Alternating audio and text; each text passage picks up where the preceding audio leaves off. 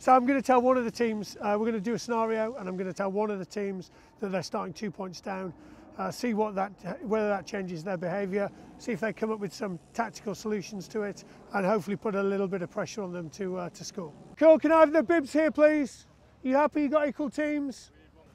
We're going to play a, a, a two-minute game. I'll explain the rules to, to everyone in a second.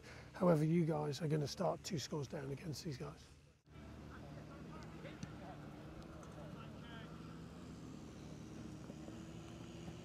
Blue team without telling without giving the game away just tell me how that felt. So what was that like that last two minutes? So we would start a lot of sessions.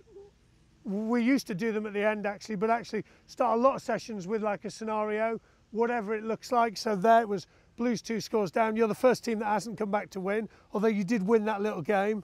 And and everyone talks about those kind of feelings of we needed to do it a little bit of pressure on us it felt like the game. It generally kind of focuses you rather than we're kind of floating around in the ether. I'm sure you guys are manipulating the constraints of the game. This for me is one of the best ones just to allow offside players. One or if there's bigger numbers it might be two offside players because it also challenges the defence as well. So guys who normally don't look up start looking up for space and just looking in the line, see which defenders have dropped. So uh, I want you guys to, um, how would you want to defend? I'm going to constrain your defence. Um, we're going to play the same game, but you can choose how you defend, and it's going to be up to, let's see if they work it out or not. So how would you want to defend? In terms of them still having the offside player? Yeah, they'd still have an offside player. Back. Yeah. Quite narrow and just move as a pack. Cool. Yeah. So you're going to always have one- only allow only allow one back. So should we say to you? Cool. And everyone else can be really tight and they're going to drift, and we'll and we'll see if they solve it. Yeah. Yeah. It's not sevens defence, but I get what you're saying. It's definitely a, it's definitely a solution, isn't it? You guys ready? Let's go. Same game. Great question though.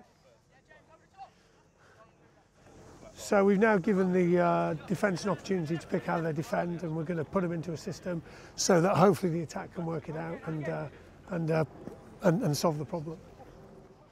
Great work, defence. Yellow ball. Blues come in 30 seconds. So we're going to um, I'm going to change it up now. You're going to have no one at the back, and you're just going to put huge pressure on them all the time. No one's allowed to sweep. Got it?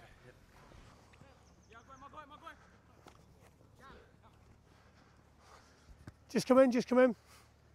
So let's go yellows. What what do you think I was doing with blues there? So what do you think I was saying to blues in those two uh, kind of little huddles we had? So in the second one they didn't have a sweeper. In the first one they had a man back. How were they defending? So what would be your solutions for, for that first one where as, as someone described it, sevens defence. It's not sevens defence, by the way. So who said sevens defence? Oh. So we do a lot of stuff where actually just defence coaches attack, attack, attack coaches defence. So we might constrain one group and say, look, this is how we want you to do it and see if these guys find the solution to it. And you guys are pretty good at that, to be fair. And we would think a lot about who we give information to. So it would have been really easy if I'd just said, oh, Blues, you're going to defend like this and you guys have all the answers. Sometimes we might pull out one guy and say, right, here's a piece of information. You, you're not allowed to shout, but you've got to disseminate it. So it might be the kid that isn't that good at communicating, we might want to try and help develop his communication. So we do with some players we might say actually don't you're not allowed to tell anyone, but your team's not allowed to score unless you've touched the ball either once or twice.